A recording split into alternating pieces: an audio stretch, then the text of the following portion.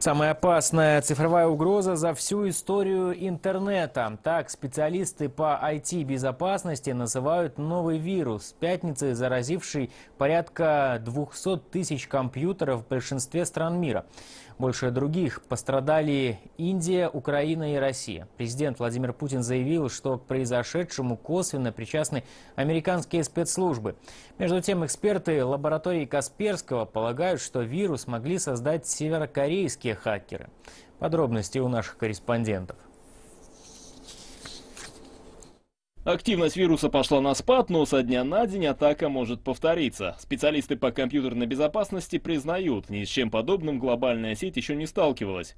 Мотивы хакеров неизвестны. Попав в систему, вирус шифрует файлы и требует перечислить деньги за их восстановление. Но, несмотря на большое количество зараженных компьютеров, создателям вредоносной программы удалось собрать лишь около 70 тысяч долларов, которые даже не обналичили. Одной из первых жертв виртуального вымогателя стал сектор здравоохранения Великобритании. Глава Европола отмечает, что медиков Туманного Альбиона не раз предупреждали об уязвимости их компьютеров.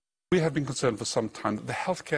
давно знали, что сектор здравоохранения во многих странах особенно уязвим. В этой сфере обрабатывают большие массы чувствительных данных, причем часто для этого используются устаревшие компьютерные системы.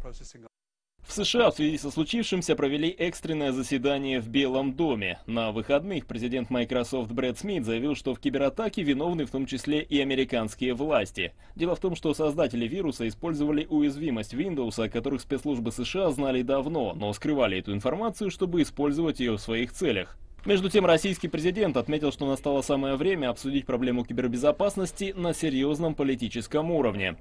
Понимая, что то джины, выпускаемые из бутылки вот подобного рода, особенно, особенно создаваемые в спецслужбах, они потом могут наносить ущерб даже их э, авторам и создателям.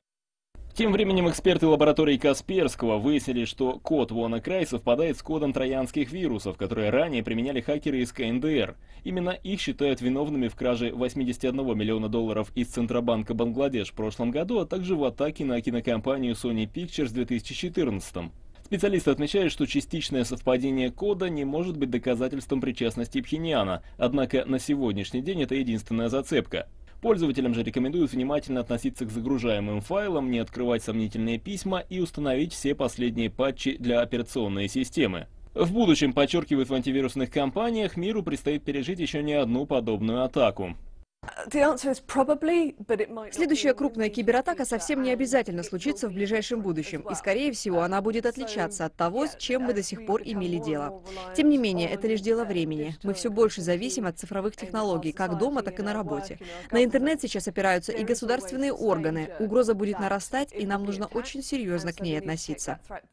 Ну а пока провести международное расследование кибератаки призывает Европейское полицейское агентство. Ведомство сейчас сотрудничает со всеми странами, пострадавшими от вируса, и пытается выйти на след преступников.